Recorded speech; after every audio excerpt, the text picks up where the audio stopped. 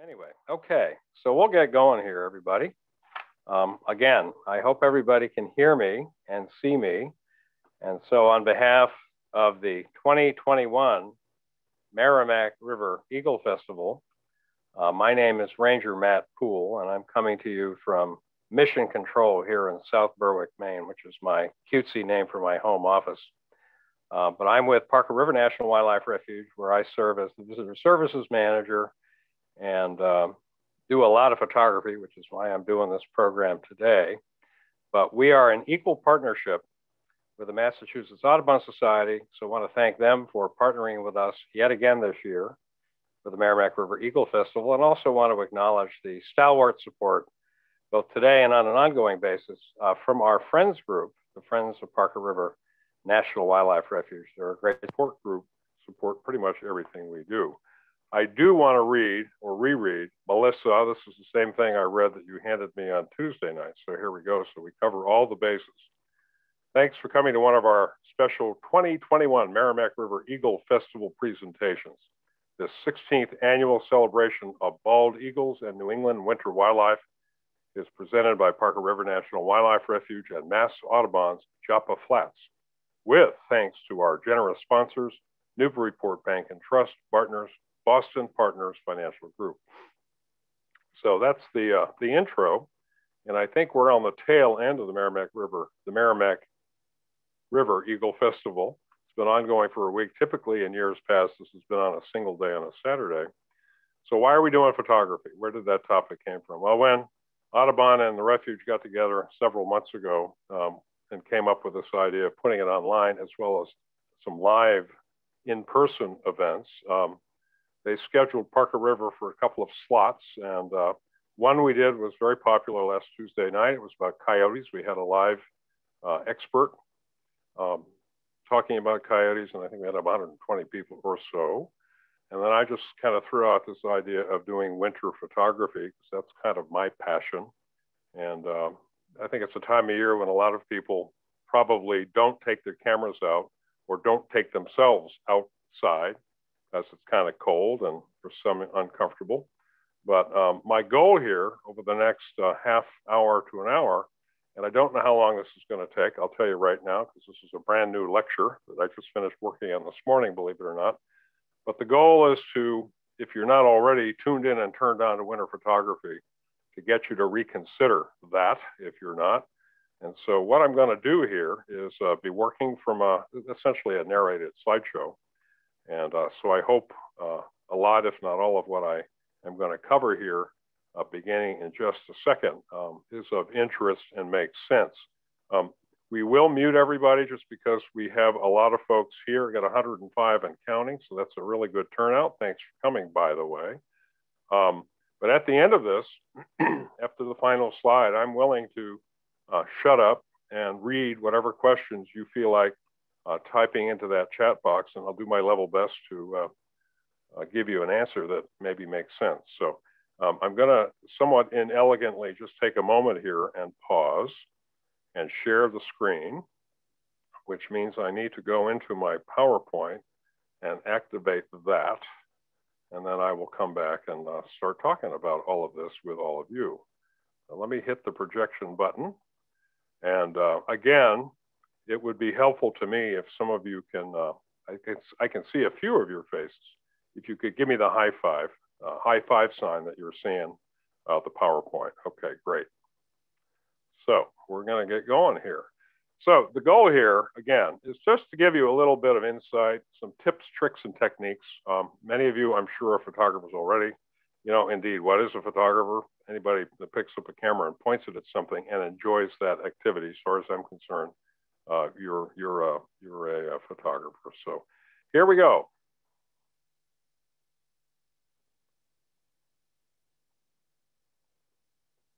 So it's baby. So the re the reasons for why winter may be a challenging period or winter photography winter photography may be challenging to some folks. Why is that? Well, the old quote, baby, it's cold outside. Not everybody likes cold weather as much as everybody else. Um, um, I can't wait for winter every year. Some of you probably can't wait for it to uh, leave the leave the leave our environs. So there's that for sure. Um, there are, I think there's this perception that there are fewer animals around. Um, as you'll see, I think uh, that's not necessarily the case. There are actually more animals around than, than I realized before I, until I started collecting images for the slideshow. So there is winter wildlife. It's out there to be seen and photographed for sure. The days are short and I work. Well, I can, I can definitely understand that worldview because the days are short and I tend to, because I have about an hour drive to get to work, I'm often driving to work in the dark and driving home at the end of the day in the dark. And so that doesn't, during the winter months, leave a whole lot of time for photography. But um, so that is a very, very real con uh, constraint for sure. There is no color out there. Everything is brown and gray. Well, to some degree, chlorophyll is kind of hard to find this time of year, but there is color. Um, a lot of this is about sensitizing your, your awareness to the environment around you. And I think the more time you spend, certainly with me, the more time I spend looking around at what's around me in nature, um, I'm amazed at, at how much color there actually is out there. So um, that's, that's kind of a, a, a, phony excuse in my, in my view. I used to hold it myself, but actually there's plenty of, plenty of things out there to see and do. So uh, the first thing though, as I'm sure everybody would agree, if you're not comfortable, no matter what you're doing, if you're cold, if you're miserable, are you going to be enjoying the activity that you're engaged, engaged in, whether it's photography or anything else? Obviously, you won't be. Um, so get warm and dress in layers. I mean, we all have heard this for years dress in layers. And so, if you want to be comfortable in the winter, get used to dressing like this person here. How many of you dress like that? Raise your hand when you're outside. I see a few hands going up. Good. Um, beyond that, there were some very specific dimensions of uh, dressing that are very, very helpful if you're a photographer. So, and there is, by the way, a bit of a delay I'm seeing with these slides. So hang in there. When I click my mouse, there is a little bit of a delay for the slides to come up. Um, what you're looking at is me holding one of my cameras in the woods down the street about a week ago. We needed to come up with a photo to illustrate the point. Um, if your fingers are frozen and numb and in pain, again, you're not going to be enjoying photography at all. And so you're much less likely to be outside. This is a very good way of keeping your fingers warm. These uh, mittens that uh, retract to expose your fingertips are really great. Um, if they're all, you know, old rag wool mittens. Now, if you like to spend money, there's always somebody that's willing to take your hard-earned money. You can get into one of the uh, photography suppliers who is more than happy to sell you the $75 pair of special photography gloves. Now, if you compare those gloves with my rag wool mittens, they functionally do the same thing. They have retractable fingertips that allow you to uh, operate the camera controls and put them back in place when you want to warm your finger. Here's something I really, really want to recommend. Um, oh, about five, six years ago, I was scrambling on the rocks before sunrise, middle of the winter, uh, below Portland Head Light, and I was by myself. Um, anybody that's ever uh, scrambled along rocks below, uh, rocks that are usually covered at high tide, knows that there's something called black algae covering the rocks. And there isn't anything more slick on the planet than that. Long story short, I took a tumble and went ass over tea kettle. I was all alone. When I hit the ground, I didn't get up for about 20 minutes. It was so painful and ended up busting my knee. Had I had these things on my feet, I'm convinced um, I wouldn't have had to go through all that pain and misery with that fall. Luckily, the camera was okay though, so that matters too. But take a look at these little slip-on um, Yaktrax, and there are other companies that make a similar thing. They're very useful. You know, hand warmers um, and toe warmers. I've never actually used these things. I have some in a drawer down the hall. I've had them for years, but I run into lots and lots of people that use them and they swear by them. So again, it's another way of keeping yourself comfortable during the cold weather. Needless to say, if you're outdoors and it's cold, your furnace is burning lots of calories just trying to keep you warm. So bring snacks and drink water. And then finally, this little item didn't really fit naturally into any of my slides, so I stuck it here. But I must have three or four headlamps in my car. And I will tell you, with photography, if you do any sort of photography in reduced light or even pitch black, of course, having a head, headlamp is going to be very, very useful thing to have. If you're going to be using it after dark specifically, it's good to get one that has a red lens on it because your eyes become a little bit more sensitized that way. So headlamps are great and they really don't cost that much. So let's focus a little bit on image quality here. Um, most photographers that I know, generally speaking, are shooting to create the most sharp images that they can render. And uh, I'm guessing that all of you are of a similar faith, if you will. And the way to get sharp images, frankly, is to get the camera out of your hand. I've been saying this for years. If you really want to maximize sharp images, get the camera out of your hands because simply by holding that camera, you're introducing something called camera shake. I don't care if you haven't had a black cup of coffee for six months and you think you're the most cool dude on the planet. Um, you're still introducing some motion if you handhold a camera. And by the way, that applies to a cell phone too. So if you can just focus on getting the camera out of your hand, that brings you, a, that's a quantum leap forward in terms of achieving sharp images. Now here with this slide, I've got a couple of different things I'm, I'm uh, showing you. Number one is, um, I've got somebody here I've got to let in, pardon me.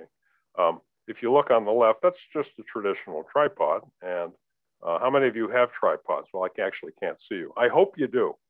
Tripods are not that expensive, but if you want to maintain the sharpest images possible, put it on a tripod, get it out of your hands. That would apply to a cell phone. There are other ways of stabilizing a camera and lens by removing it from your hands. That photo in the center is simply nothing more than a, sand, a beanbag or a sandbag. And you can either make your own by stuffing a sock with dry beans or rice, or you can spend money, which again, the vendor is happy to take from you. But these are wonderful stabilization devices. You can slap the beanbag down on a rock, for example, put the camera body on the beanbag, and you have a very stable, immovable uh, camera. And then this fella on the right, who's got a camera on what looks like a, a long pole, it's called a monopod. And it's essentially a tripod minus two legs. And they, again, can be very, very helpful. So just a couple of things you can do to maximize your, your image quality. Let's move to the next slide. Keeping your fingers from going numb. So we talked about the gloves. Now, if you are going to be a user of tripods, um, this becomes a pretty important thing this time of year tripods tend to be, or the legs, tripod legs tend, tend to be made out of one of two things, carbon fiber or some type of aluminum or magnesium alloy, metal. Uh, the metal tripod legs in the cold can freeze your fingers off. And so if you have the money, a carbon fiber tripod is the way to go solely for the, the, the advantage it gives you from the standpoint of not conducting the cold as, as as much as a metal tripod will.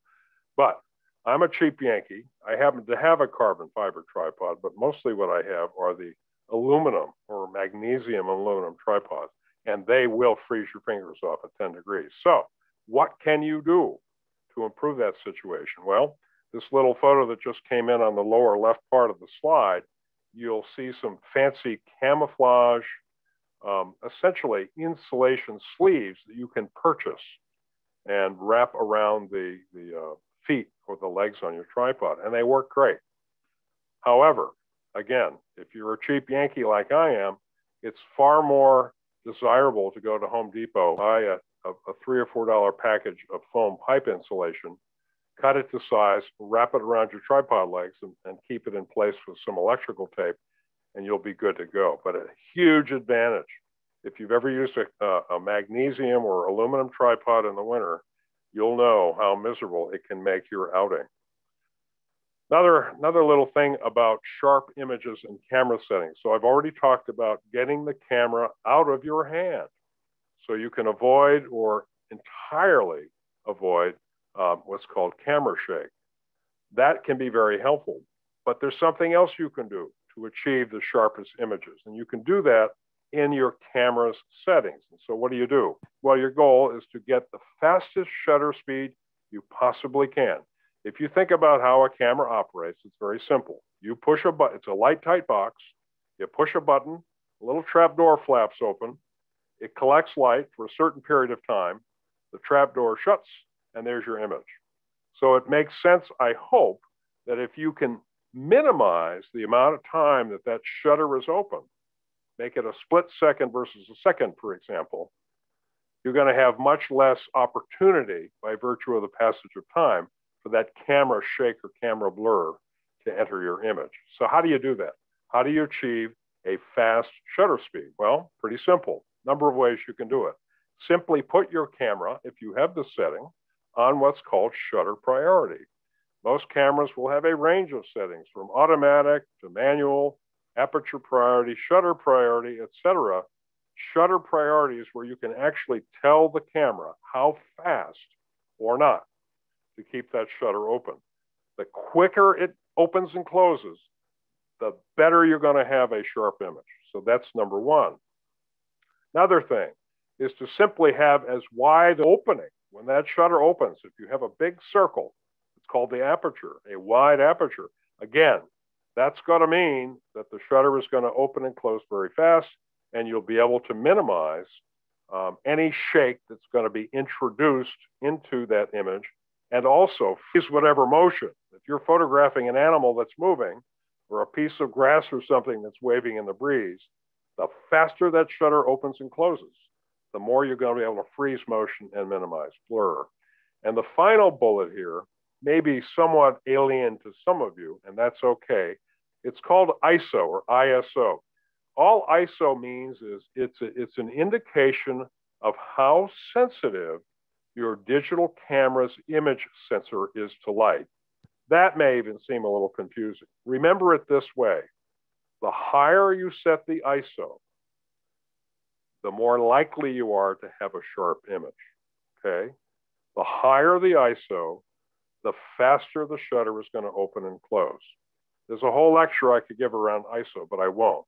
But I just wanted to sort of bring those little uh, items to the fore so you understand that there are things that you can set on your camera that will maximize um, how sharp your images are. And then finally, the good news is, compared to say even 10 years ago, most cameras, um, I would say a lot of cameras that you buy today have built in right into the camera body something called image stabilization. If they don't have image stabilization built into the camera body, and that is the case, by the way, with Nikon and Canon DSLRs, you buy lenses for those camera, camera bodies that have image stabilization built into the lenses. Image stabilization is simply an electronic mechanical device built into either the lens or the camera body, and it basically counteracts camera shake. So again, the idea is to get you sharp images. So hopefully that makes sense. If you're buying a new camera or if you're buying lenses, that's critical to know whether or not the camera body or the camera lenses have image stabilization. So just kind of keep an eye on. Back to the lousy weather. Um, cameras and electronics in general don't mix really well with moisture. Probably all of you know that already. So as you can imagine, there are all sorts of doohickeys and gadgets you can buy. Again, you can spend a lot of money on this hobby if you really want to, or get by on the cheap like a lot of us do. But you can actually buy raincoats for cameras. And if you look on the upper right side of the slide, that's what you see there. Um, they come in all makes and, and price points. And wow, you can really outfit that camera and have it looking pretty nifty and stylish. Or you can use a gallon sized Ziploc bag, or on the lower left photo on this slide has a disposable rain cover. Now, I bought two of these. Again, they're disposable. I bought two of these about 20 years ago, and guess what? They're still sitting in my camera bag. I've never used them. So, what does that tell you? I don't tend to take my camera gear out in the rain. So, that's another thing to keep in mind. one thing that's hugely important to know about cold weather batteries and cold weather don't mix.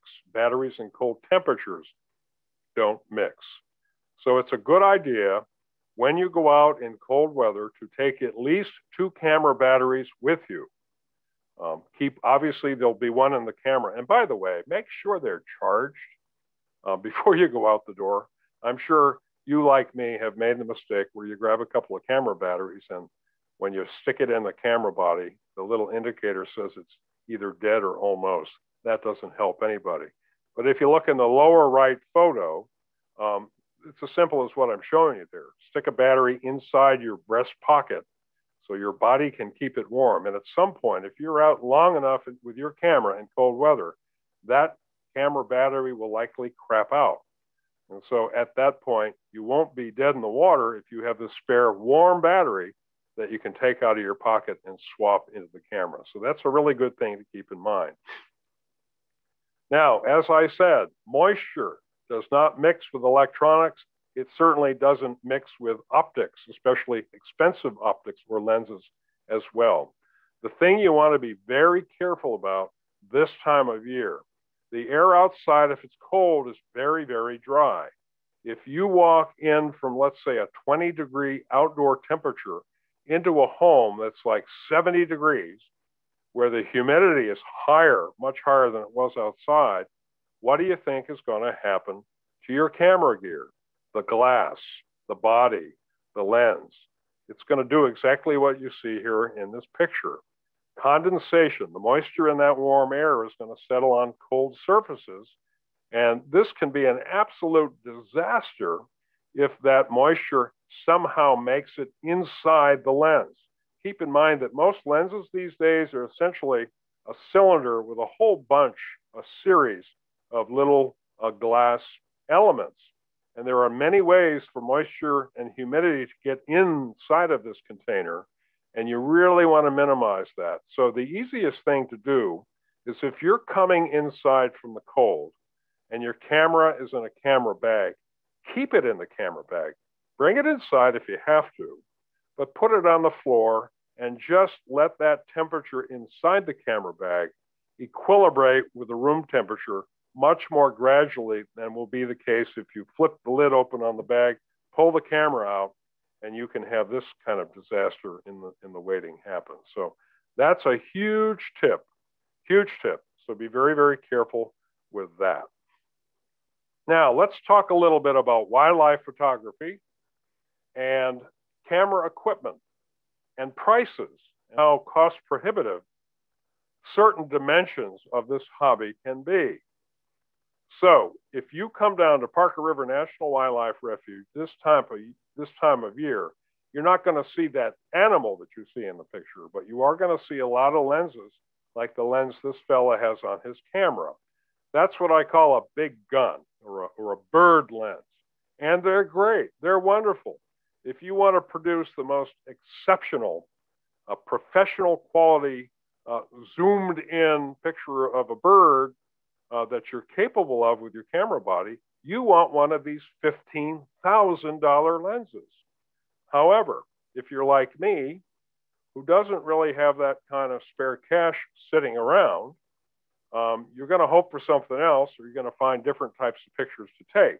The good news, starting about six or seven years ago, a couple of the third party camera lens manufacturers, specifically Tamron and Sigma, started making these, they call them prosumer grade ultra zoom lenses. So let me back up and tell you what that means.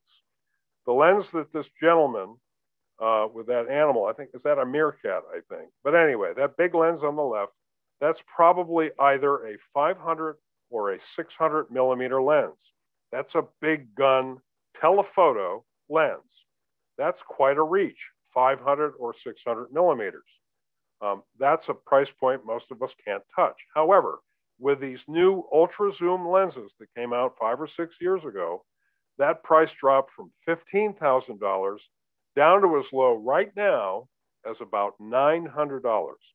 Um, the zoom that that young lady is using is probably somewhere in the neighborhood of 150 millimeters to five or 600 on the long end. That gets you the same uh, zoom or reach as that $15,000 lens on the left.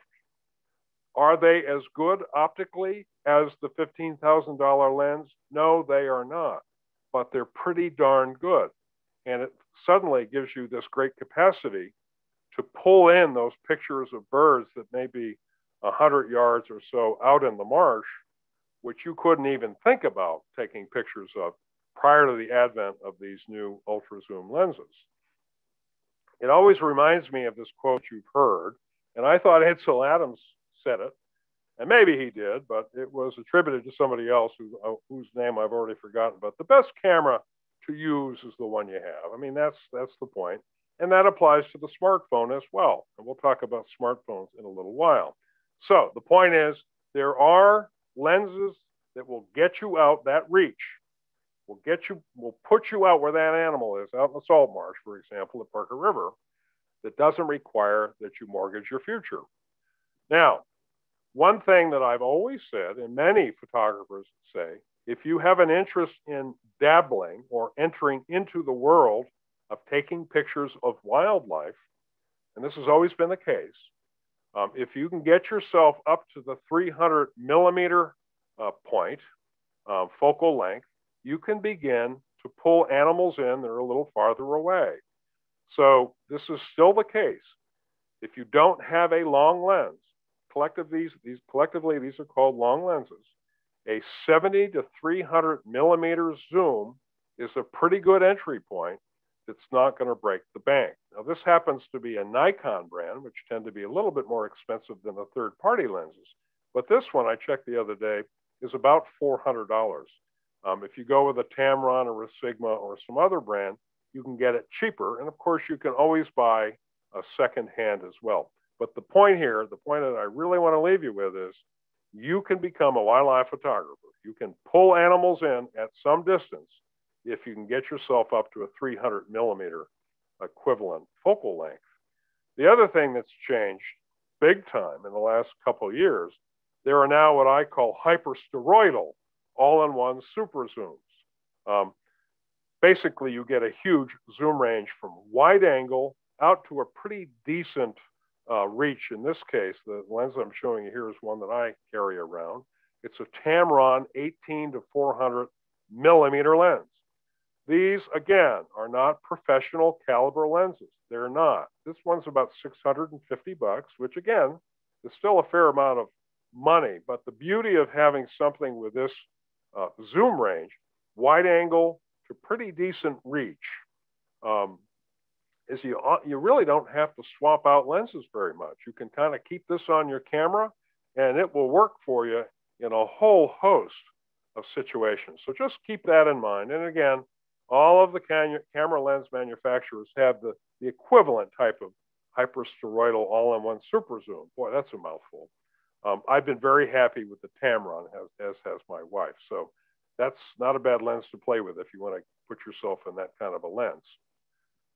Having said all of that, if you still don't have the inclination, the interest, the money, or whatever to get yourself some reach, a lens that puts you out there where that animal is to some degree, you can still take compelling images of wildlife. And so here's an example. Um, this is a snowy owl, as I'm sure you know, and they tend to be the poacher in other environments during the winter down, down here. This is one that was out at Hellcat a few weeks ago, sitting on a post, minding its own business, where a whole bunch of owl paparazzi taking its snapshot. Um, but it, this lens that I shot this with was a very short focal length, and yet I managed to get a pretty decent environmental portrait. So that's my point. If you are unable mechanically or optically to fill the frame because you lack having that super zoom reach, you can still take a decent, if not compelling, picture of that wild animal by simply uh, taking an environmental portrait, a contextual portrait. And in some regards, I find those more interesting because rather than just a bird or some other animal filling the frame, which can be great, this kind of picture tells me about the environment this animal is in. If it's doing something, if it's behaving in some manner, it tells me something about its behavior. So again, if you just have an 18 to 55 millimeter kit lens, which is typically what comes with a uh, entry level DSLR or digital camera, you can still take great wildlife photos. The other thing is very similar picture on the right, a little less zoomed in, simply by adding human beings or some other what we call foreground element, you create a very different type of photo than the one you see on the left. I like the one on the right. These two people, uh, first, one thing, it, it just tells you that there are people out there photographing these, these amazing animals. But by having something in the foreground, and I'll say this a little bit later as well, it adds a sense of depth to the photograph. It's more three dimensional than is the one on the right. So just consider putting foreground elements into some of your images. There is one piece of equipment probably almost more than any other piece of equipment, with the exception of the camera and lens itself, that I absolutely recommend. This is called a circular polarizer. Um, this is a little piece of glass, and they come in a whole range of prices, anywhere from 20 bucks on up to four or 500, depending on what you buy. They fit the diameter of the end of your lens barrel. Typically, you want to buy the widest diameter circular polarizer you can that fits your widest lens, and then you can actually use little metal rings to step that same polarizer down for narrower diameter um, uh, lens sizes. But what does it do? The circular polarizer is amazing.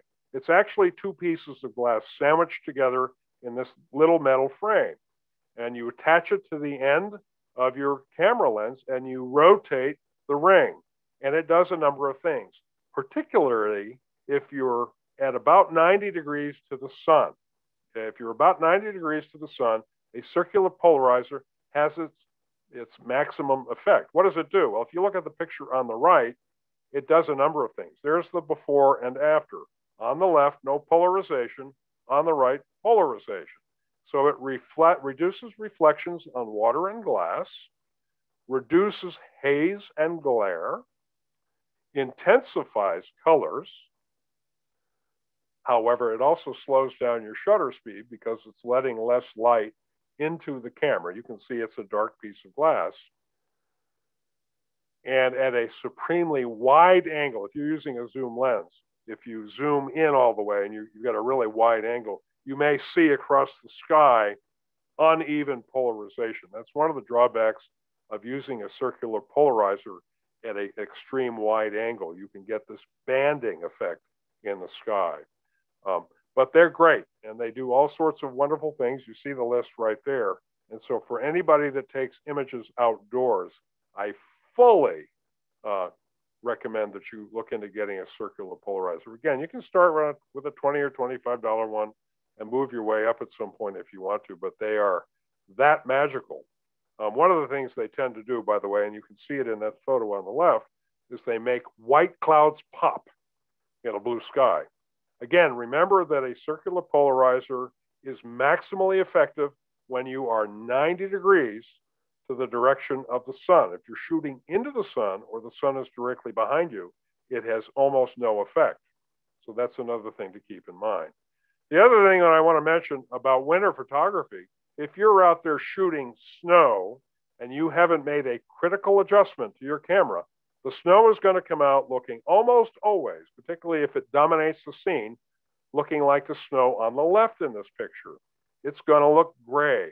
Your camera has an exposure meter, and your exposure meter in that camera's simple little brain is always to make whatever is in the scene the equivalent of 18% gray. It's going to take anything that looks white and it's going to want to make it gray. Just realize that that's going to happen. It's not you, it's that silly little brain in your camera. So, how do you counteract that? Well, you use something called exposure compensation. Most cameras, if they have manual controls at all, will have a little dial that will allow you to add light or subtract light. Um, so I know for a fact because I've been doing this long enough. If I'm going to be shooting a snowfield like here, I have got to add one or two stops of light. That's the unit of measure, stops of light. Here it's plus two, and you can see the difference between the gray snow on the right, on the left, and the properly exposed snowfield on the right. It took adding two stops of light. Typically, what we suggest is you add one to two stops. It's really going to depend on the specific situation, but in most cases, certainly with snow and with a white sandy beach, anything that's really bright, you're going to want to add light because the camera's going to want to make it gray. Same thing if you're shooting a buffalo on a snowfield. So as you can see here on the left, that's the way the camera was going to do it without your intervention.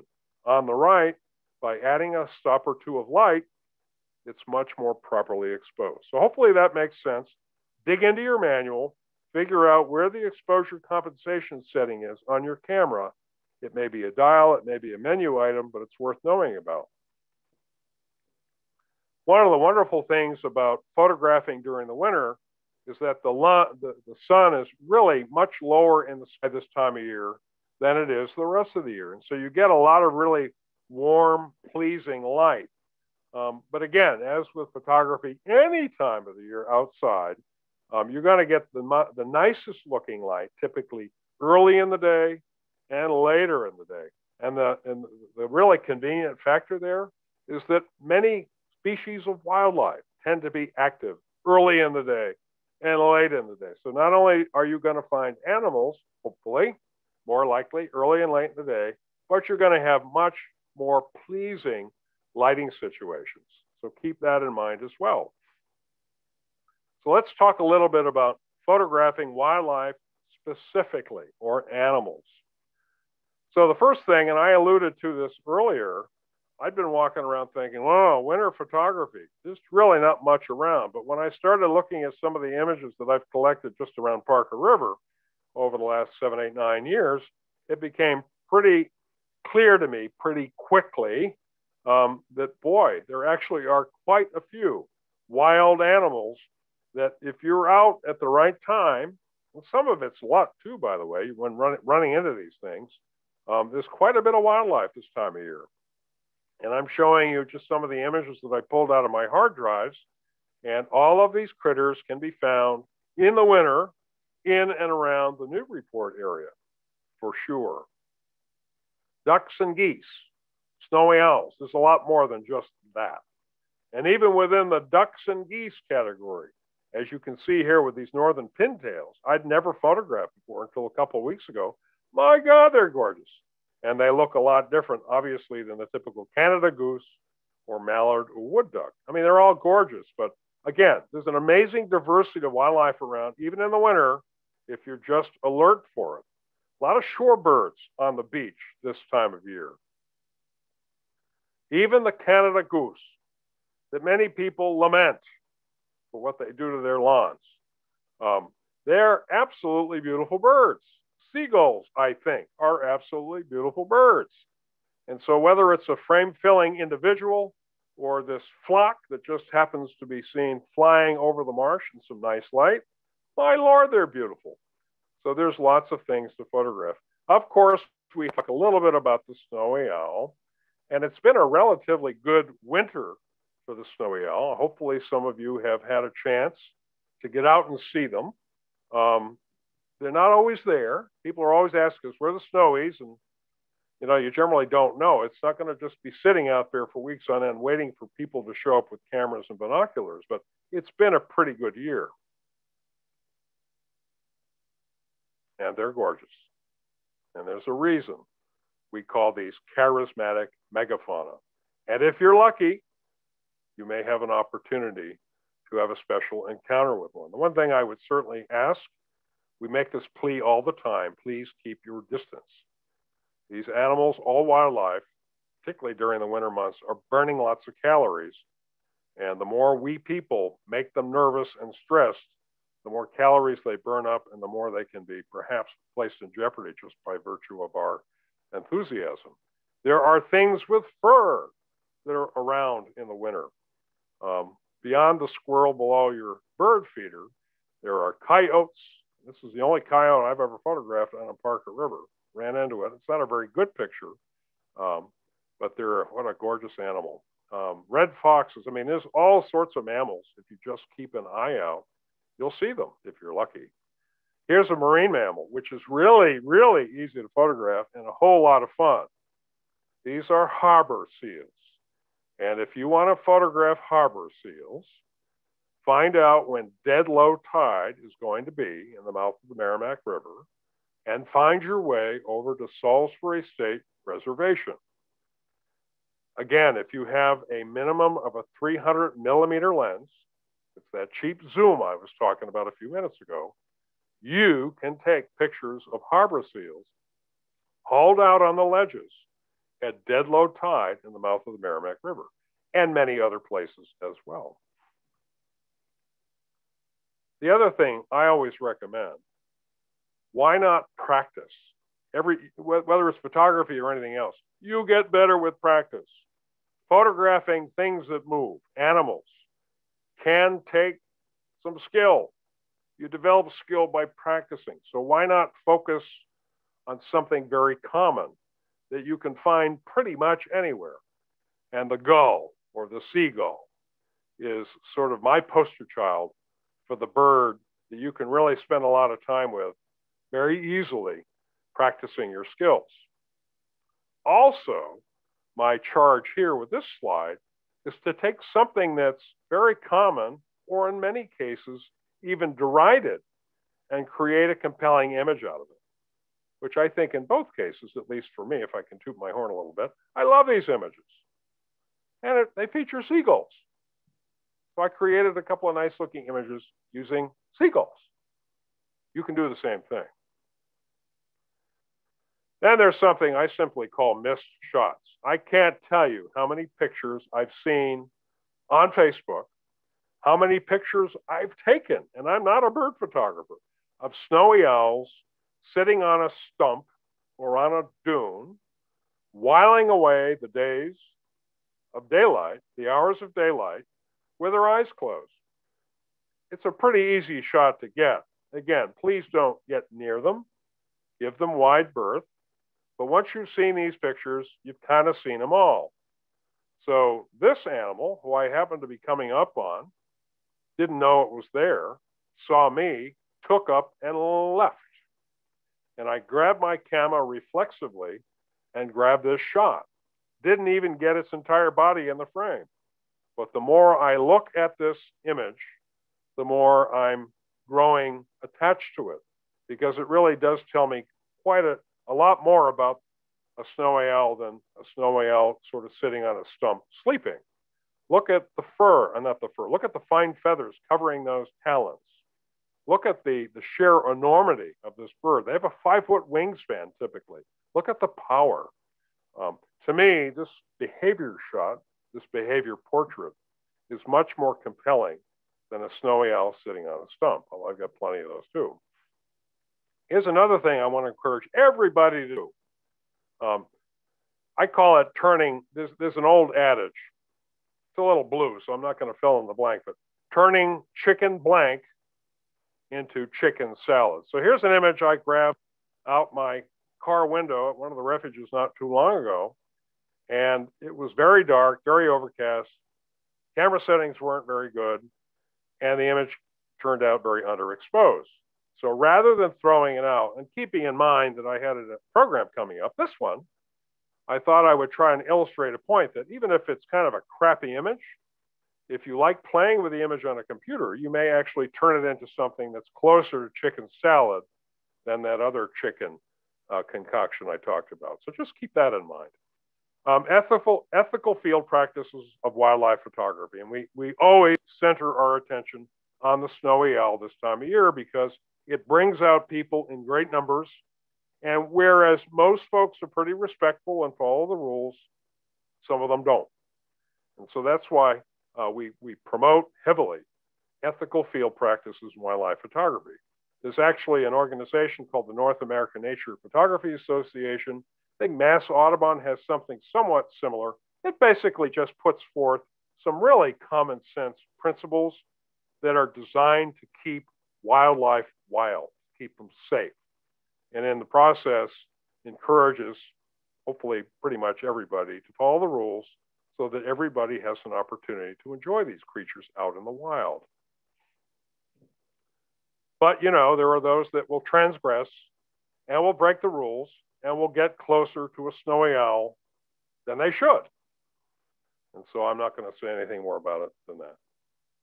Okay, if you don't happen to see animals, and I got to get moving here because I, as always, I talk a lot. Um, I want to get through the slideshow.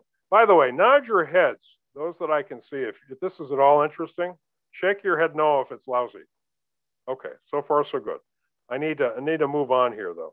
So let's assume there are no animals around when you get to your destination and you wanted to photograph animals. Are you up the creek without a paddle? The answer is no. If you take this approach, look for the evidence of their presence. Wild animals can be detected on the landscape without even being there when you are. So a lot of this is pretty common sense, but I'll point it out anyway. Whether it's um, looks like mouse tracks on a sand dune or wild turkey tracks in the snow on the right there, certainly telltale of something that was there before you got there. Um, how about where they live? This is a muskrat lodge on a, a little pond on Parker River National Wildlife Refuge. When the leaves drop in the fall, all of a sudden, as I'm driving up and down the refuge road, I'm blown out of the water by the realization of the sheer magnitude of birds that build nests on that refuge. They're everywhere. So again, telltale sign that there is wildlife in the area. Beaver. You go to a beaver wetland and they're all over the place. There's all sorts of animal sign or beaver sign. Chewed trees, beaver lodges, beaver dams, beaver haulouts, you name it. They're really fun to go and find, not just the beaver, but these signs of the beaver. Another thing that's very telltale, um, cavity trees, um, often called snags, these big dead trees that are just lifeless and full of holes. They provide amazing um, habitat or habitat to an amazing variety of, of animals. So again, everything that I've showed you in these two slides is evidence of wildlife that was there, may still be there. However, let's assume there's no wildlife whatsoever. Are there other things that you can photograph that at least give you an opportunity to approximate what it's like to photograph an animal? And of course there is. And so, for example, a place that I've stopped at periodically for years because it's right next to our visitor center is the Peirce Little Farm, owned by Historic New England, where they have a small tribe of uh, MSPCA animals that are on display, and they're very, very popular with the local public. Some of you, I'm sure, have been over there. But again, it's a great place to practice your wildlife or animal photography skills. And of course, these guys will come right up to you, so they're pretty easy targets. Remember that one of the goals with wildlife photography, you'll hear it again, is to get the eyes sharp. You'll want to make the eyes sharp, like that little eyeball in the lower right. And then, of course, if, if nothing else, you can focus on your pets. Point your camera in the direction of your pets and have at it. You can create some pretty compelling images. This, by the way, is Mr. Felix. He's our pet, the lower, the, the black cat. So, and he posed for me just the other day. It's a lot of fun. You guys, I'm sure, do the same thing. Indoor opportunities, other places where you can go photograph wildlife. There is a phenomenal a butterfly house in South Deerfield, Massachusetts called Magic Wings. We checked the web today and they're actually open. Um, great place to go. Might not go next week because it's school vacation, but it's a great place to practice your wildlife photography skills. Um, other places, for years, I've been notorious here, my family, for running into PetSmart or Petco with my smartphone and somewhat surreptitiously sneaking around taking lizard pictures through aquarium windows. And that's what, where this little guy came from. Just playing with my smartphone. It's nothing more than that. Playing with, taking a picture with a smartphone, editing that picture, and then putting it up on social media. Finally, another place to go and take pictures of animals is your backyard. I'm sure that many of you have bird feeding stations in your backyard. The stuff has been flying off the shelf at Walmart all winter long, so we know it's popular. And again, it's a very controlled environment where you're pretty much guaranteed success. So I'll just show you a few images that were taken here at the house in South Berwick. And by the way, notice that not all of them are sitting on a bird feeder or clinging to a suet cage. Not very wild looking, although it's a place to start. If you can get them in the trees near the bird feeder, you get a much more realistic looking wildlife portrait. But our bird feeding station here is nothing fancy. I've been showing versions of this in slideshows for years. It's a four by four post that at different times of the year has different types of things hanging off it. But that's pretty much where all the bird photography occurs here um, and the trees nearby. There's nothing prettier than something like this, in my view, and it's totally contrived. That log right now is bolted to the top of our 4x4 posts, but you'd never know it unless I told you, right? Again, um, an amazing diversity of wild creatures right in your backyard. And it's a lot of fun and very easy photography to do. Bluebirds have just started coming back here year round, just last three or four years. And as long as you provide them with an endless supply of these uh, somewhat overpriced mealworms, they're, they're going to show up in large numbers in some cases. Not everybody will get them, but we get them quite a bit here now. If you have any interest in learning how to set up natural looking conditions around a bird feeder, there is a wonderful resource by this fellow named Alan Murphy. Alan Murphy has put together this amazing guide. It's an ebook that shows you all sorts of setups that you can contrive in your backyard for very little price and create amazing images. Again, it's phony, but you can create some great images. And if you like that sort of thing, which I do, go for it. Um, this is a book I pulled off my bookshelf, and it's a great book. It's very similar to that ebook I just referred to, but it's full of little recipes, little ideas for how you can set up your backyard with for bird, bird photography. So again, look into that if you have an interest. Finally, I want to recap before we get to landscapes very quickly some wildlife photography tips, many of which I've already talked about. One, make sure the eyes are sharp if you see a picture or a photograph of, an, of a wild animal or even a domestic animal and the eyes are not tack sharp, it's not going to be a good image. You will not find it appealing. Try and shoot at the animal's level. Get down at its eye level if you possibly can. Again, much more realistic and compelling image making. If you lack that zoom potential, or if you just simply want to educate somebody about that animal's habits and habitat, Shoot environmental and behavior shots, not just that frame filling portrait. Keep in mind, remember that many critters are more active early and late in the day. If you want to freeze movement and mi minimize camera or image blur, get a fast shutter speed, however you do it, and put that camera on a tripod. If you use your, your car as a photo blind versus pulling your car over when you see something, getting out of that car uh, and then pointing your camera at the animal, you're going to have a lot more success if you stay in the car. Most wildlife are habituated to moving motor vehicles, much less habituated to people. Um, so keep that in mind. Learn the habits and habitats of the animal, and you'll have a lot greater success finding them. And then finally, when you are filling that frame with a, with a portrait of whatever, a lizard at Petco or a snowy owl somewhere along the New England coast, be careful with distracting backgrounds. You can have a perfectly exposed, sharp image of an owl, but if there's a telephone pole growing out of its head because there's a pole right behind it, you will have a lousy image. Um, so just keep that in mind as well. Now let's talk briefly about photographing everything else. Boy, that sounds like an easy lift, doesn't it? Photographing everything else non-wildlife. That's why I call this nature and wildlife. So number one, water is probably the most obvious, the many faces of water. And I'll just rattle through these, but we live along the coast here. So of course, you're to go out and photograph the ocean.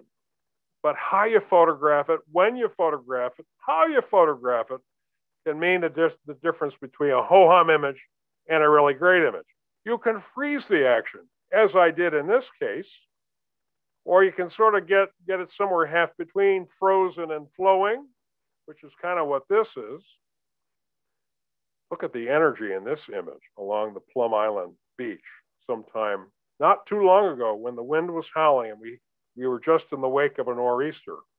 The other thing I like to do with coastal water is I want to occasionally take long exposure images where I am really slowing down the shutter speed. I'm keeping that shutter open a very long time so you get this implied motion effect, sort of this silky look.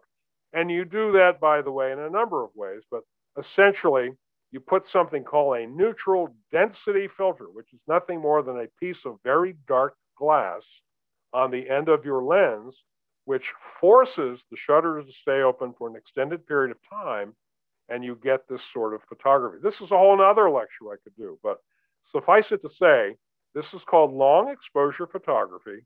I really like it. A little goes a long way, but it's kind of fun to do. Same thing here. Again, I used a very long shutter speed. I like this kind of thing. It's not for everybody. It's a certain technique to get there. And sometimes putting a little foreground interest, like I mentioned earlier. Um, in this case, it happens to be a shadow caused by yours truly with a tripod on the Plum Island beach. It just adds a layer of interest, it adds a sense of depth, and I think it makes it a better picture. Frozen water, ice, cascading stream. Um, it's a very good thing to sort of seek out this time of year because you're not going to do this in June. Let's hope not, at least. Very, very distinct and pleasing type of image. Um, river, cascading river or stream shots, same thing. Long exposure times. Shutter was open a long time. Really cool. I like doing a lot of this. You notice snow in the foreground.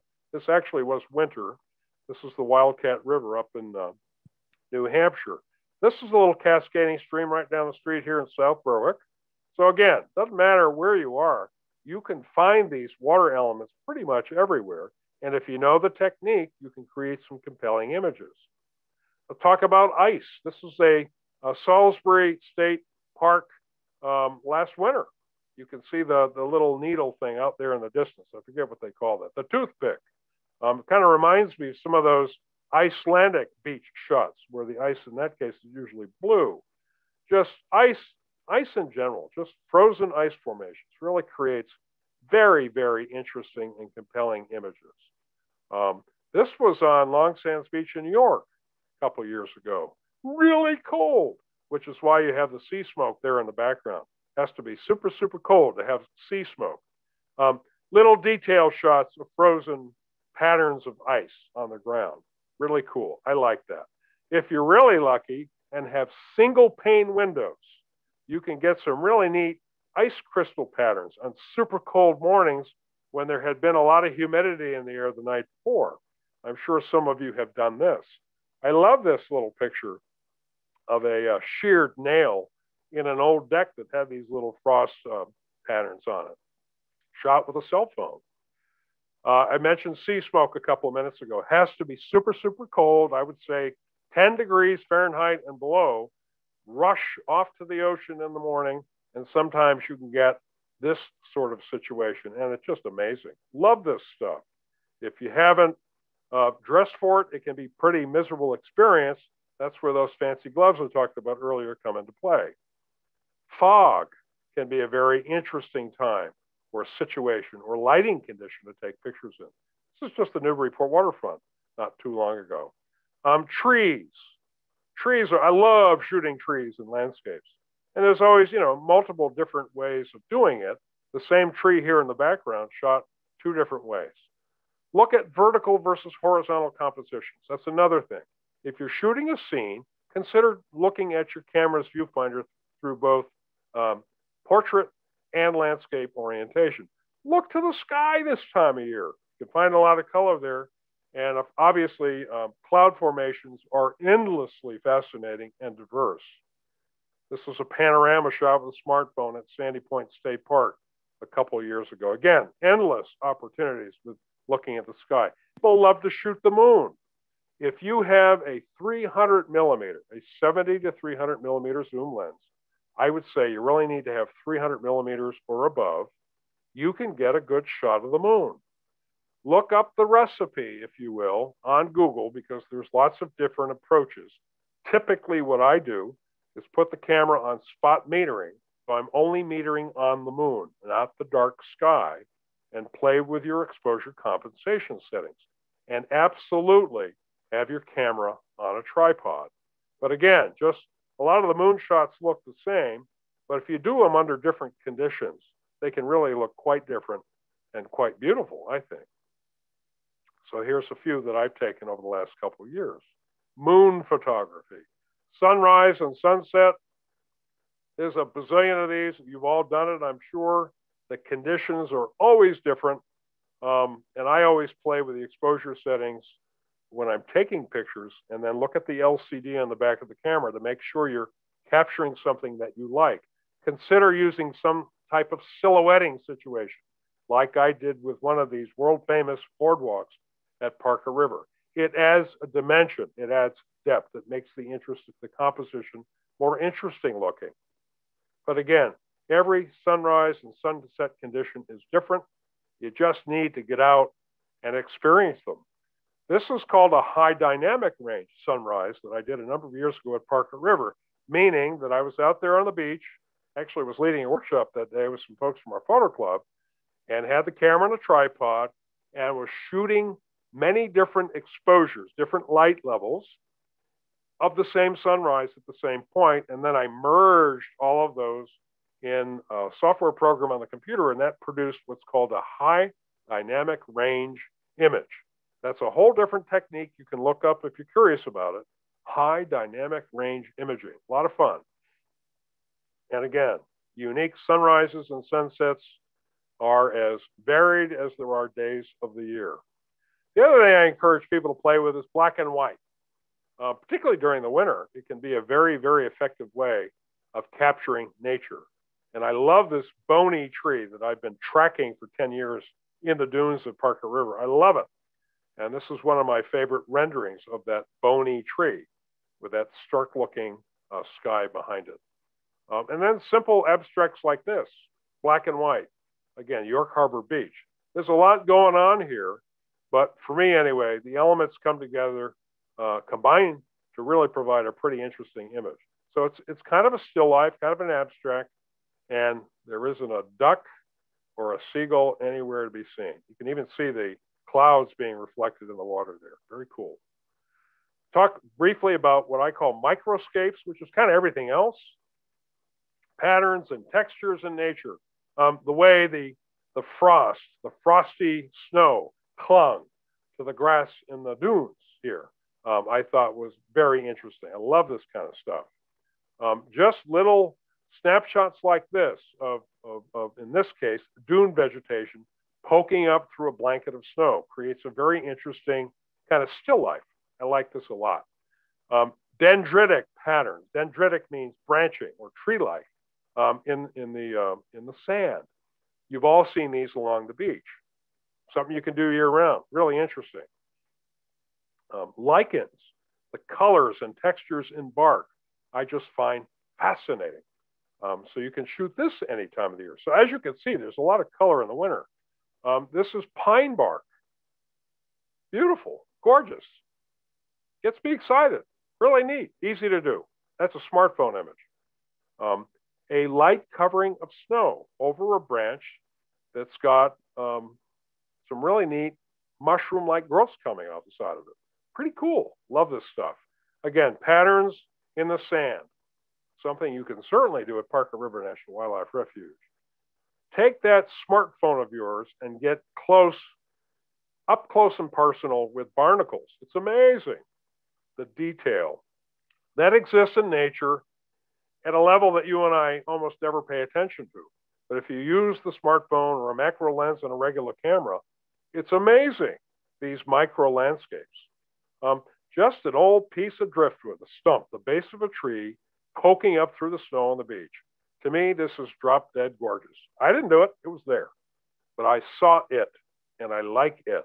And the textures just really speak to me here. Tree branches covered with a light dusting of snow. Look at the intricate pattern in that branching. Fascinating. Not really a natural picture, but the snow certainly is natural. So again, I'm always alert for patterns and textures anywhere I walk. Found this kind of cool.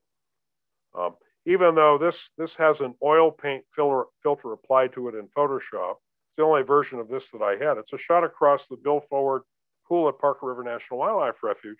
And I just really was drawn to the kind of the sinuous patterns created by the wind and the snow on the ice. So again, patterns and textures in nature. Let's talk briefly about landscapes, because that's really most of what I do. And folks, I realize I'm running a little bit long. Nod your head if you're okay with me. Okay, all right, good. I'll get this done quickly. Winter landscapes. Landscapes are, people think, really easy to do. They're not. Um, I think it takes a fair amount of energy and talent and skill to, to make a good landscape. Um, I like this one because the tree out in that pond is off center. That's one of the things you want to keep in mind compositionally is not necessarily putting everything in the center of your frame. This is a boardwalk at Parker River National Wildlife Refuge. It employs a compositional device called leading lines. In this case, it's a kind of an S curve. It could easily be just a straight line, but it makes for very compelling image making because your eye is drawn in at the base of the photo and it trails off to the back of the photo. Just has a very pleasing look to it. Um, again, black and white, kind of an oddball picture in a way, but because we have this tree branch on the ground and this little uh, stream or rivulet leading our eyes into the background, and because of that sort of stormy looking sky, I found this kind of interesting. So I like it a lot. Again, an anchor point in this uh, landscape. That's what that, that driftwood does for me. Um, it kind of gives, gives the image a sense of depth. Notice the leading lines created both by the edge of the sea as well as the pattern in the sun. This is a lightly uh, coated uh, dunescape at Parker River National Wildlife Refuge shot very early in the morning. I just really like it because it's got some nice color, very warm, got a lot of texture. It's just a very, very pretty um, image. Shooting in the snow if you can protect your camera, is pretty cool. Um, this is a tree that gets photographed a lot by us in Dover, New Hampshire, for obvious reasons. But again, notice how the tree is not dead center in the frame. Notice that the horizon line, in other words, where the ground meets the air, is not uh, right across the, the, the middle of the vertical frame. Typically, you don't want to do that. You want to have your horizon line typically about a third of the way from the top of the frame we're about a third of the way from the bottom of the frame. If you have it right across the middle, it looks weird. Um, so just another tip to keep in mind. Again, just a piece of driftwood on the Parker River beach, um, a foreground anchor point, but the tree also acts as a leading line, drawing my eye from the lower left part of the frame off into the distance. This uh, old boat taken, I think, in Ogunquit. Um, foreground anchor point, middle of the winter, cold as a devil out there that day, but again, a nice color palette, lots of textures. I really like that image. Shoot a lot of trees. Again, notice this one, frosted with snow. Could have been equally good in black and white, but this is actually a color image, uh, but it's slightly offset. It's not dead set in the middle. And again, that horizon line is about a third of the way from the bottom. Leading line, created by the Parker River Refuge Road, passing by that grove of sassafras trees that people are so fascinated with. Um, again, another thing to keep in mind. Leading lines, texture, patterns in nature. This one I took just a couple of weeks ago on a very cold morning, pretty stormy sea. Went out to the refuge beach. It had just snowed the day before, and I found this big pile of lobster pots with a life with a lobster pot buoy. And there was just something about the color of the sky, with the white snow and the, the energy of the sea that made, made this, for me at least, a pretty compelling image. Here's another example of looking at the vertical and the horizontal. Um, this is a shot of the Bill Forward Pool just a couple of weeks ago. was driving down the dike on patrol and decided to stop because I saw these little swirling snow ice patterns out there on the ice. And I took a couple of pictures of it um, it's framed on the lower end with a non-native plant called Phragmites, which is a beautiful plant, even if it doesn't belong there. But again, um, I just found this kind of a compelling composition. I like the colors, I like the texture. Um, sort of that swirling snow pattern create right up here creates kind of a leading line that leads my eyes back to these uh, conifers in the background. And I just like the vibe there. I like it better than the vertical version. But again, shoot both. You may like one better than the other. So recap quickly, landscape tips. These apply to landscape photography. Make sure your horizon line is level. If you do nothing else, make it level. Horizon, generally speaking, should not be in the middle of the vertical frame. Don't cut it in half, top to bottom. Include foreground interest to add a sense of depth. Typically, landscape images have a deep depth of field, meaning they're sharp front to back. Typically, that's what you want. You do that by using a small aperture, a small hole, typically around f22, f16, f11. That's really what you want in most landscape situations, not all. Consider taking both horizontal and vertical perspectives. You might be surprised. And then finally, I just want to dispense quickly with smartphones because they are probably the camera more than anything else that you and I tend to have in our pockets. So let's run down the list here really quickly. What are they good at? Landscapes and close ups for sure. A lot of smartphones will let you get within a couple of centimeters and really create great images like that barnacle picture I showed you. You always have it with you you're not going to miss the photo opportunity. Limitations, they're not really good at telephoto or zooming, although they are adding telephoto optics to some of the newer cell phones. So even that's changing. They generally do a lousy job in low light. Um, and there's a whole set of reasons for that. They take great video, and I'll show you a snippet in a second here. Don't forget, they take great video camera and image editor and a public and publisher all in one. I'll show an example in a minute of what I mean by that. There are some add-ons that you might want to have for your smartphone if you want to use it more and more as a camera. A wireless remote trigger, which is just a little device that you put in your hand. You put the camera on a tripod somewhere else, like near your bird feeder, and you can take pictures of the birds by not even being anywhere near them. A bracket for mounting the tripod uh, the camera to a tripod. I'll show you that in a second. And there's a whole bunch of snap-on lenses or add-on lenses you can get. Tip, however, set your smartphone to record the maximum image quality or size you can. Because if you later want to make a print of that image, you're going to want to have the biggest file size you can. So that's important. And then look at third-party camera apps. Uh, the, the actual app or software program you use on the smartphone to take pictures. Um, the, the native app that comes with most of these smartphones is a little limiting, and there's a lot of really neat things you can do depending on what you want to do if you if you look into some other camera apps. I was going to mention this quickly. If you like to shoot the moon or the sunset or uh, astro- astronomical starfield pictures, there are apps that will tell you when and where to do that. I'll just leave it at that. Um, PhotoPills is probably the most popular. That's why I stuck it in here. Photo Pills is an app you may want to look into. If you like editing images on a smartphone, by far and away, my favorite is something called Snapseed. It's owned by Google. It's free. It'll work on an iPhone or an Android. And it's what I use all the time when I edit my images. Snapseed. So let's look at a typical workflow. Here's a picture I took of the sunrise at Parker River with my iPhone a couple weeks ago, totally unedited. Um, and then I very quickly brought it into my Snapseed again on, the, on my smartphone.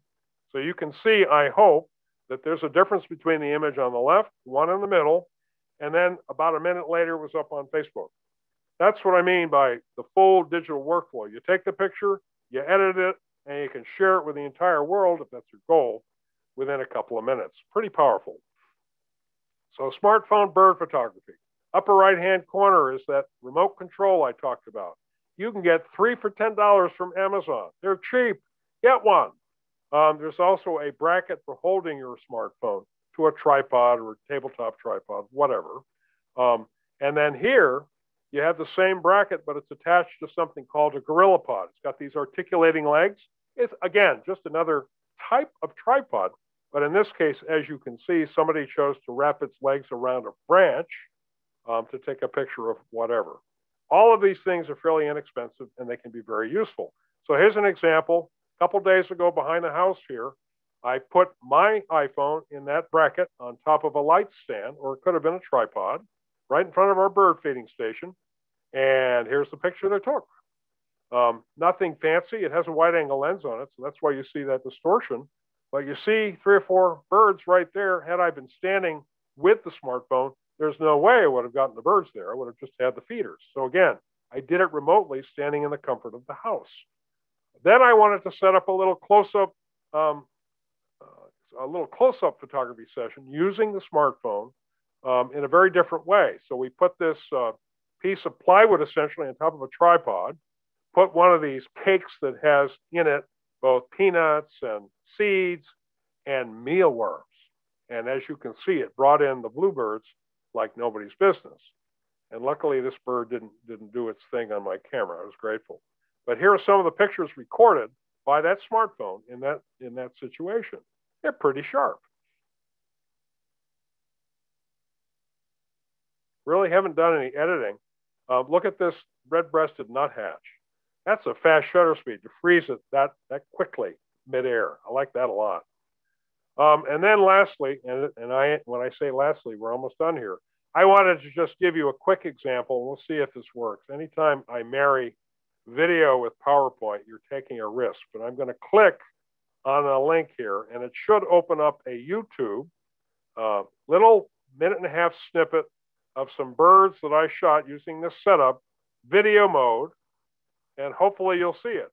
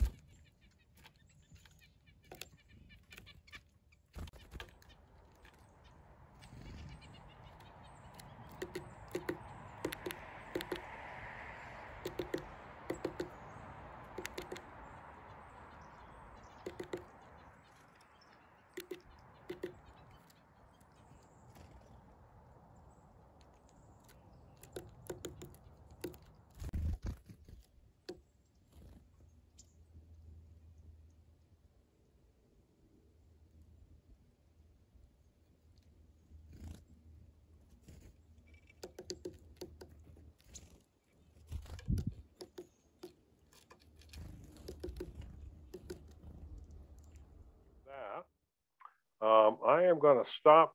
I guess I had one more slide here. Ah, we have to get this in.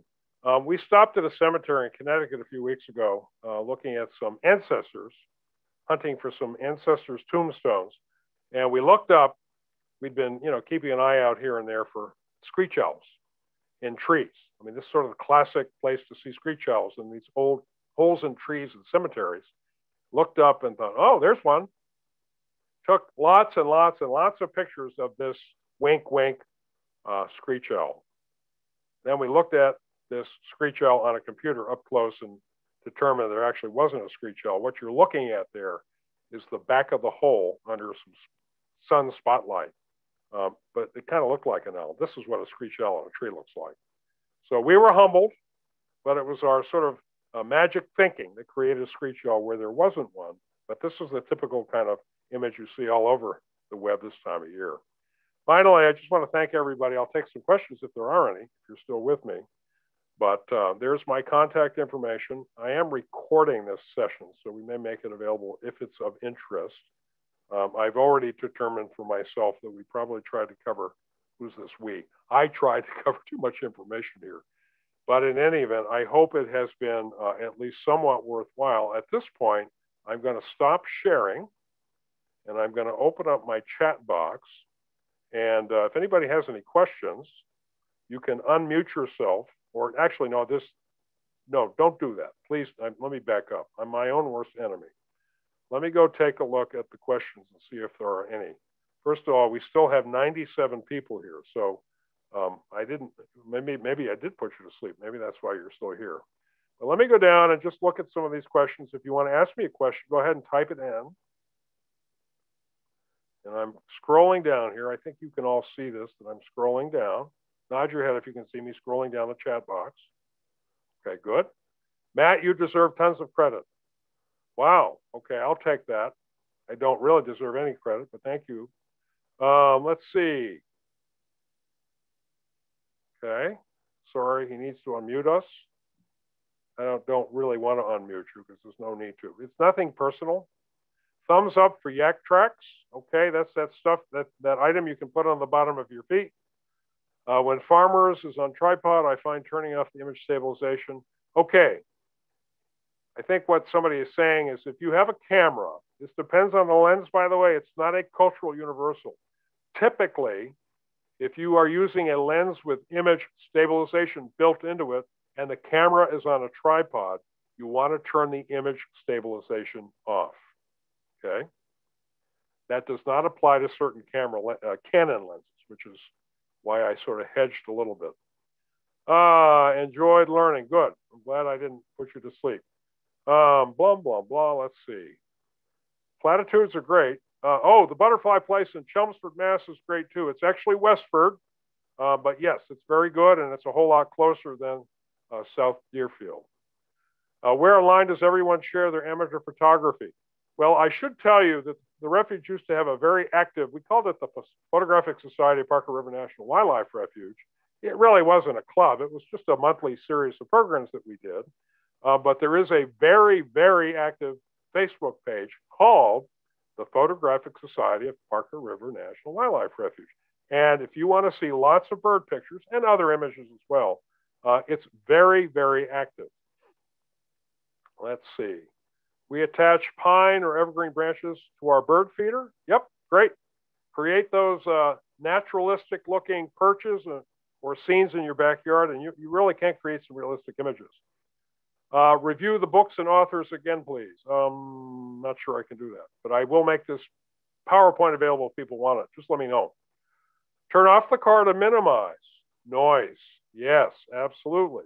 Ranger Poole, which would be wonderful if you did a series on wildlife photography too. Hope to see more. Okay, good. Um, would you ever consider doing a photo walk? Yes, when this COVID crap goes away. We all want to get back into the presence of other human beings. Uh, high five if you agree with that one. Thumbs up, rather. Yeah. We're going to have to be patient, though, folks. Have to be patient. But yeah, that's the goal. Um, I second the request for a Zoom photography series. Okay. Oh, Zoom photography series. Yeah, we can do that. I can talk forever. Um, Secrets of Backyard Bird, Bird Photography by J. Chris Hansen. Okay. Haven't seen that one, but thank you. Uh, will this recording be available? Yes because I this one I can control because I own the content. Uh, okay, other backyard bird books. They're all over the web, folks. The video didn't work. Yes, I will. I will put the link to the video in the chat box in a couple of seconds if you hang on. Lovely photos. Thank you. What camera bodies do you recommend for wildlife photography? Great presentation. Well, I can't endorse any brand. I'm a Nikon guy, always have been, but it has nothing to do with my government employment, by the way. They're all good. Uh, just recently switched to a mirrorless camera, Nikon, because I already have the lenses, but uh, I love loving, loving life with a mirrorless camera. It's a lot smaller, and it's my first full frame camera. So, uh, but you know, you have to pay for them. What camera bodies? Okay. Uh, link, blah, blah, blah. I don't mean blah, blah, blah. These are all compliments. Thank you. Appreciate it. Um, do I recommend using a telephoto extender? really a teleconverter? Uh, well, nope, a teleextender too. Yes, absolutely. Teleconverter or tele uh, extension tubes is what I think you mean. Yes, they're both great. Absolutely. Just realize with a teleconverter, which is yet more glass you're putting between the lens and the camera, you are adding some degradation uh, to the quality of the image, and you're also losing some light. Uh, let's see, any tips for camera settings when shooting through window glass? use a circular polarizer. Okay, remember that? Circular polarizer will help. It's not going to be absolute magic, but it will help with reflections. Really wonderful. Okay, good. Can this be made available? Yep. Um, thanks much. You're welcome. We weren't able to see the video. I will put the video. Uh, if you some of you hang on, I'll try and in, in go grab that, stick it in the chat box here. Or you just, yeah, I'll put it in the link. You know what I'll do? I'll send you an email. That'll be easier. Okay. All right. I think that's about it. Uh, what what the polarizer? What does the polarizer use for long shutter speed? Um, to get a long shutter speed, you basically need to put dark glass in front of the, the lens. That's basically it. A polarizer will help make it darker. Typically, you need additional darker glass called a neutral density filter. They come in different degrees of darkness, uh, but that's what it takes to get those really smooth. Uh, oh, let's see, and put it in there. There's your, thank you. There's your link for the video snippet, all, all one minute and 30 seconds. Um, boy, what a compliment. Makes you want to go out and take pictures. Good for you. Excellent. Holy smokes. You people don't shut up. It's just on and on. No, I'm kidding. Anyway, um, I think we got to the bottom. There are still 70 of you here. Thank you very much for your time today. I hope this was worthwhile. Um, this is the classic Ranger Poole thing where I tried to cram more information than I probably should have, but um, I, I am taking to heart that some of you at least found some value in it. I will find a way of posting this and I'll make it available to any of you that you, I'll just send it to you. I'll give you the link in an email. And uh, other than that, have a phenomenal Valentine's Day. Thanks very much for giving us your time. Thanks for participating in this wonderful annual Merrimack River Eagle Festival. And uh, on behalf of the United States Fish and Wildlife Service, Parker River National Wildlife Refuge, and the Friends of Parker River National Wildlife Refuge, this is Ranger Poole coming from South Berwick, Maine. Have a superb day. We'll see you again. Bye bye.